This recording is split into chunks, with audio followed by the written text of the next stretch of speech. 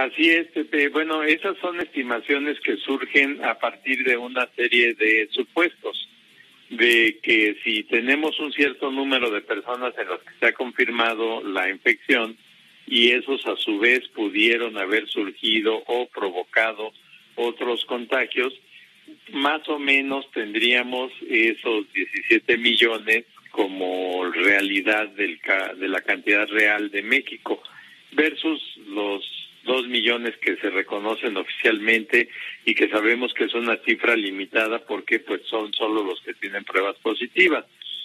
Pero mucho más eh, importante pudiera ser que hace casi un mes se habló de los datos de la encuesta nacional de salud, donde se dijo de una muestra que es representativa de la población nacional, se encontró una proporción importante de personas que ya tenían anticuerpos y la estimación a partir de esa cifra era hace más de un mes de 24 millones de personas contagiadas.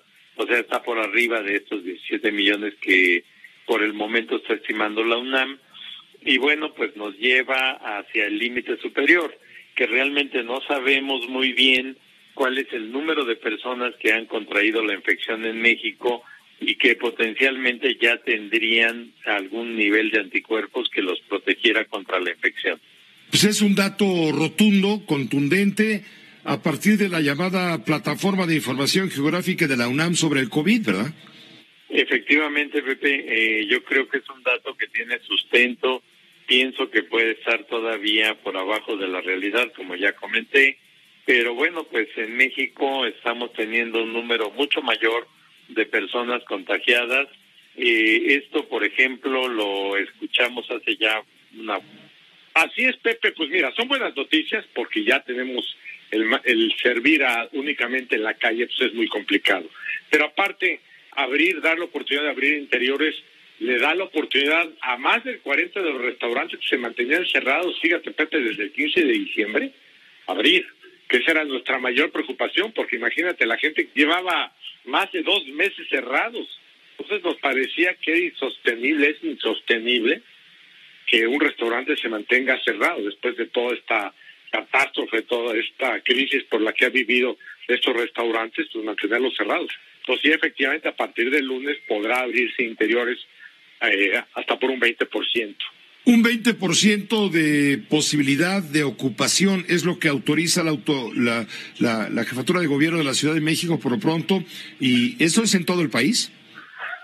No, acuérdate, esto es únicamente para la Ciudad de México. No, en el país, de hecho, Pepe, si me permites, como que me preguntas, de hecho en el país era, digamos, fuera del estado de la Ciudad de México y de Puebla, los únicos estados que no permitían estar en los interiores todos, eh, todo el país se ha llevado una, eh, o sea, se ha establecido una dinámica distinta. No es lo mismo lo que pasa en la Ciudad de México lo que pasa en el país. De hecho, en el Estado de México, que es cruzando la calle, como tú sabes, la reglamentación es distinta. ¿Por qué? Híjole, Pepe, pues tendría que platicarte toda una serie de anécdotas para darte una explicación, porque no se lleva lo mismo en todo el país. Son distintas maneras de enfrentar esta pandemia y que tanto nos está dañando, además de la pandemia misma, esta diferencia de criterios. ¿Cómo les ha pegado a ustedes todo esto, a los restauranteros? ¿Ya eh, les dejaron atender clientela en terrazas, al aire libre, etcétera? ¿Cómo les fue con...? Así es, sí, en la carpeta de investigación se está viendo, ¿no? Que hay muchos puntos oscuros, muchas eh, incongruencias, inconsistencias, eh, ¿cómo, cuáles? Eh, ¿Cómo cuáles? Ah, bueno, pues esa, a, mi, hija la estaban, este, eh, como diciendo que ella estaba, pues no tenía, andaba, que andaba toda descuidada, muy descuidada, eh, toda despeinada, este, cosas así que pues eh, tenemos tantos conocidos, tantos amigos que la conocen desde muy pequeña, ¿no? De cuando, cómo era su presentación. Eh, también de cosas así como muy raras, ¿no? De que como que la soga que tenía, eh, con la que pues aparentemente se tenía en el cuello, este, eh, la cual tenía un nudo muy elaborado, de lo cual mi hija, pues yo, este, yo no tenía la habilidad para hacer cosas así manuales. Eh, también estaba, eh, ¿cómo se dice? Eh, a cierta distancia, separada de lo del cuello. Eh, la forma en que la tenían hincada sobre, ante una pared, en una esquina. Eh, según, según la autopsia realizada a los restos de su hija, señora, según, los, según la autopsia, la necropsia, su hija murió por asfixia mecánica secundaria por ahorcamiento. Sí, eso es lo que dice, sí. Eh, sí es lo que lo que están diciendo pero este hay unas cosas así que no no no no son son ilógicas no o sea como le digo le menciono esto de la cuerda eh, también eh, eh, también a mí me hace muy raro no de que la compañera esta la enfermera que, no hubiera dormido esa noche la su acompañante pues de, el espacio que les proporcionaba el cuarto ese ¿Qué opina Rafael Cardona? en su cristalazo en este espacio, su espacio. Rafael, ¿cómo estás? Buenas noches. ¿Qué te parece el tema de Félix Salgado Macedonio y las protestas? ¿Tú crees que es una campaña de los neoliberales, de los adversarios de la cuarta transformación, de los que no quieren, no quieren ver a Félix Salgado en el gobierno de, en el gobierno de Guerrero? A pesar de que muchas de esas protestas vienen de voces femeninas del propio partido del presidente. ¿Cómo estás? Buenas noches.